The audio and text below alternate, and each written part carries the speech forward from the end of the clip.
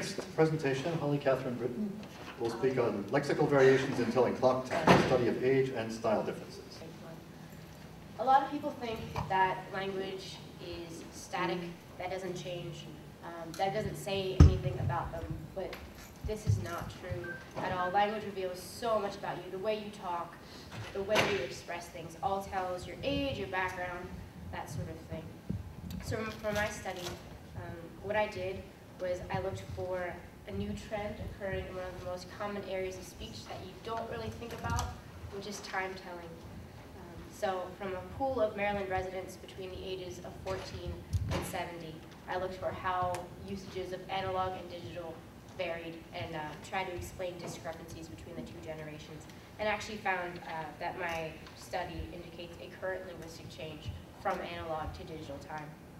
A very, very distinct difference which could potentially denote drastic changes in the way that people express time. Okay, so now that I take you what I'm going to say, um, take you through some important terms that will come up later, different principles that will apply past studies, then go over my, uh, my methodology, the different questions that I asked during my survey, whisk you through at a dizzying speed through all the results that I had in the interest of time, and um, look at some different changes, things, try to tie it back up and then say possible implications that this might have had. So I did before, sorry, I said looking at different uh, variants, analog or digital, in the way you tell time, how that varies between the five different age groups that I looked at. Um, also looked at which one was seen as more prestigious, how those groups were um, perceived by different age groups, how the older people perceive the younger generations, and vice versa, and see if that affected their language. Also looked at how people shift their language uh, to accommodate different speakers, whether they did it to seem smarter, which ones would seem more mature, that sort of thing.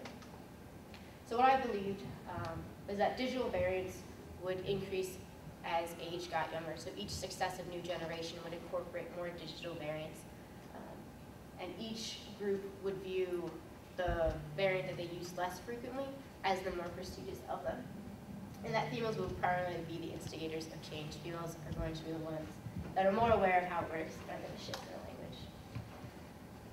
In case you guys don't know the differences between analog and digital, guy uh, is an analog, clock. So he would read, you know, I don't know, 12 after 10, 12 after 11, that sort of thing. So quarter to, quarter after, not specific, while digital time reads straight off. So 1245, that's digital important terms that came up. Like I said, language defines us. That is the most important idea in this study, um, that we are aware of how our language changes, and it, it definitely qualifies you in a specific group. One thing that came up is called hypercorrection, for those of you who are not in linguistics. It's just when you overcompensate, when you try to appear to a higher group by using a form that they would generally use, that you might not necessarily use, um, but you do it to extent that you actually exceed the group above you. Prestige is what I already talked about, which one seems more formal, which one you would try to incorporate into your speech to seem higher. And the digital age, which hit in the 1970s, uh, affecting speakers 30 and below. So this man is called William Labov.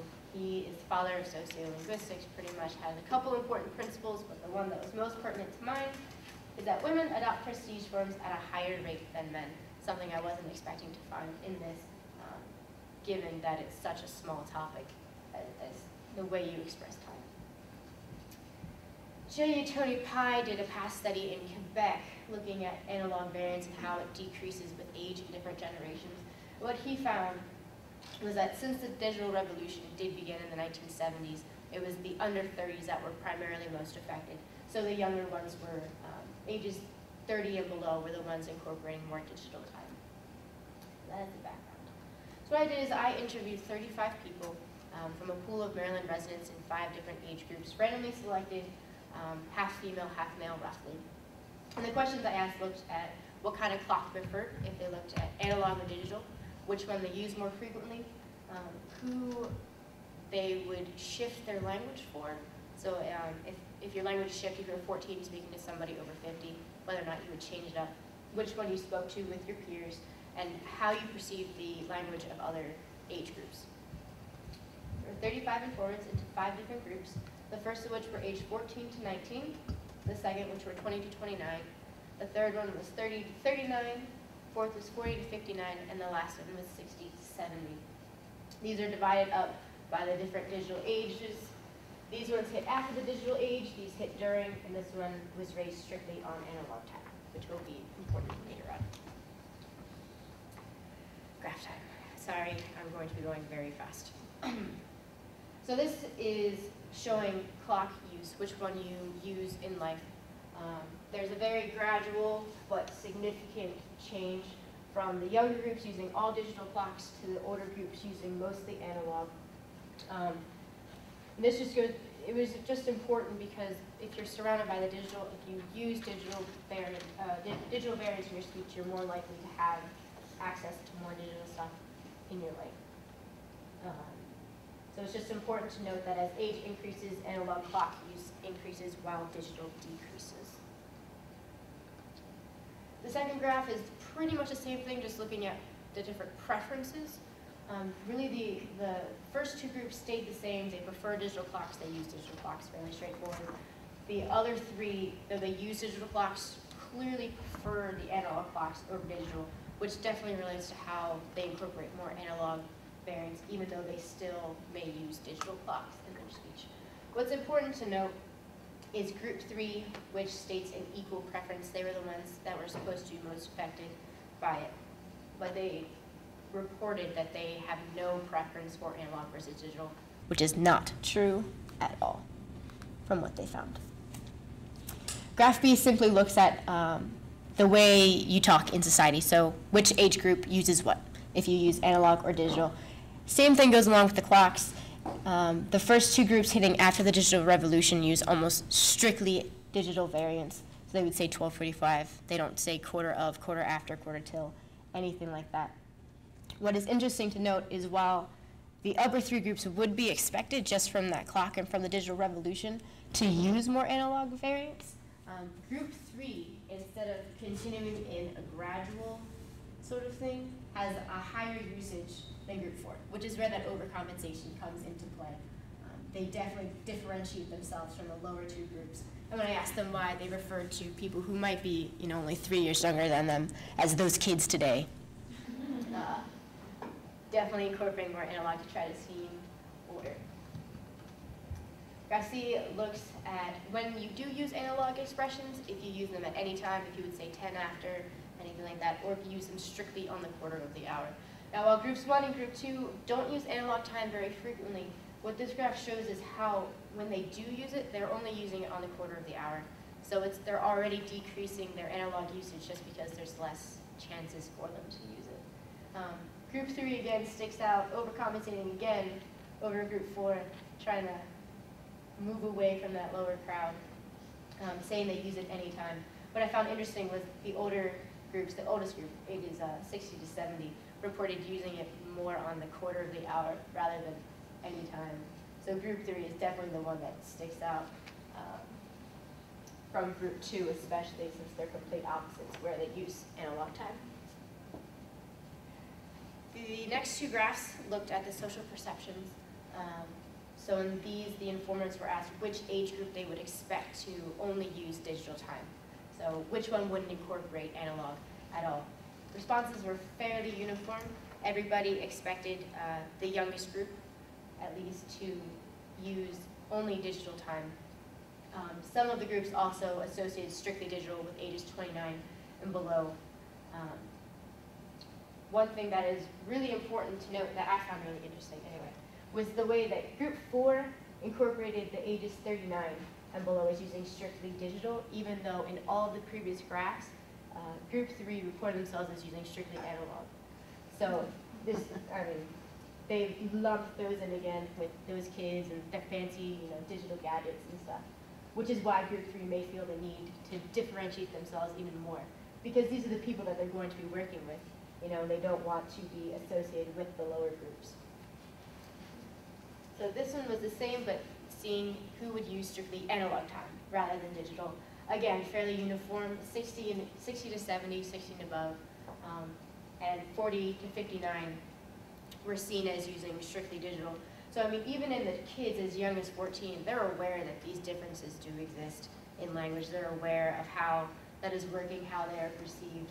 Um, group three, again, incorporated themselves as using strictly analog time. Oh, and I am really behind on time. So, taking you to the most important part. Um, okay. Oh gosh, two minutes is not a lot of time. All right. Um, the lower two groups incorporate mostly digital time, not a lot of analog time. While this is the close-up, the ones that do incorporate the change that would shift, they're all female. Going back to what Labov said about women having more prestigious forms.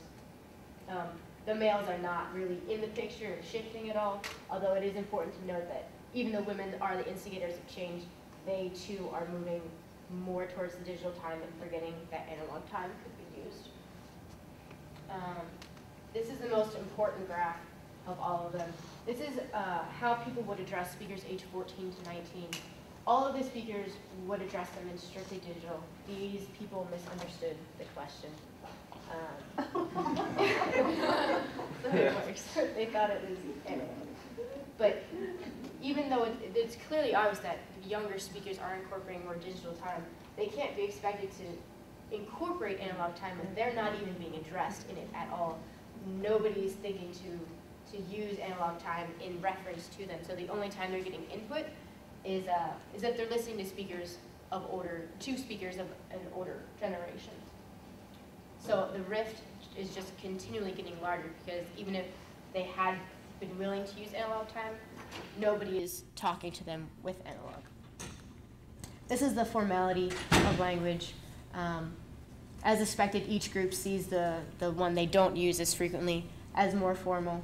Um, very clear to see where the digital age hit with whether you see digital or analog as more formal. What's interesting is even though the, the groups three, four, and five see digital as more formal, it only counts as more formal if they're talking to people of their own age or older. Uh, otherwise, it, it makes you a kid.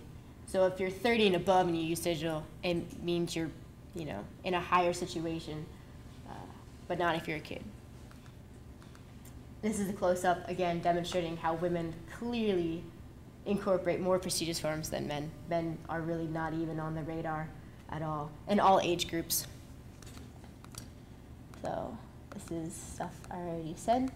Um, so in the end, analog usage is steadily decreasing, quite obviously, and if it keeps continuing, um, it could essentially disappear as each progressive generation uses less and less, which means that we have a linguistic change in progress right here, even if you don't notice it.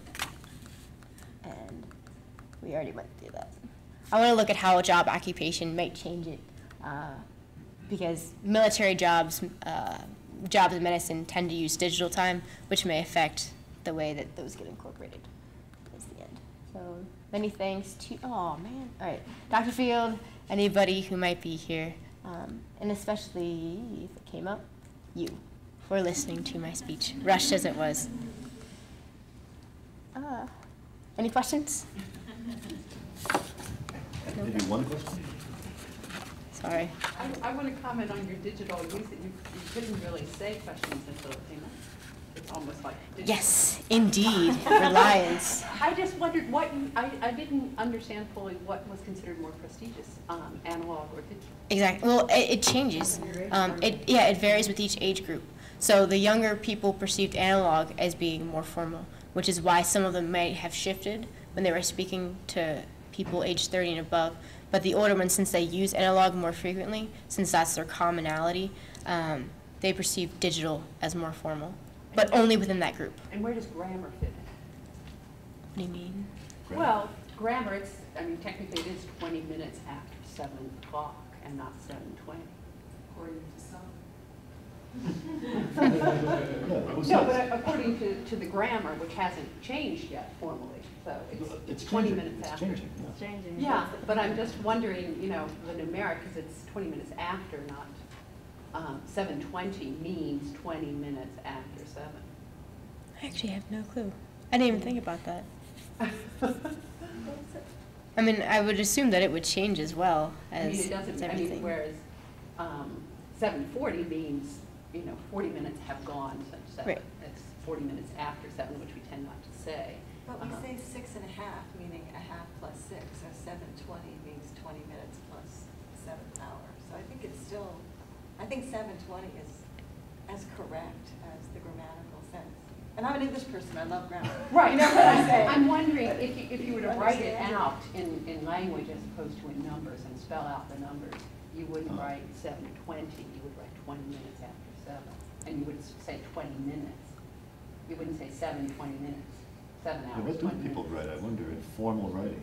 That's Yeah. all. Writing would be interesting. In novels, they'll use digital. I've seen that. Dr. over. Dr. Falco has a question. It ain't a matter. This is, you, you did your study pretty much only in English speakers though, am I right? Yep, yes. So This would be very different, I think, in French or Italian. Yes. speakers.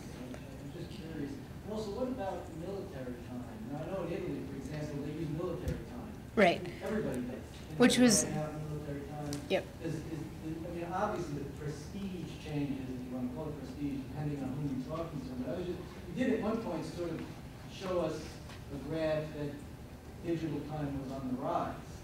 And Right. that's true only in English-speaking countries, or, uh, you don't know? Well, I mean, I can't really extrapolate it out that far. Um, this was just in within my 35 people. Yes.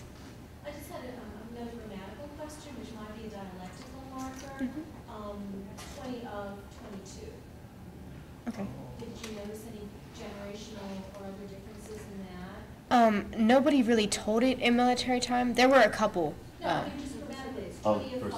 Oh, I, I, no, I counted that just as just as analog. I didn't look at those specific differences. that's geographical. Yeah. Yeah. Yeah. yeah. Thank you very much.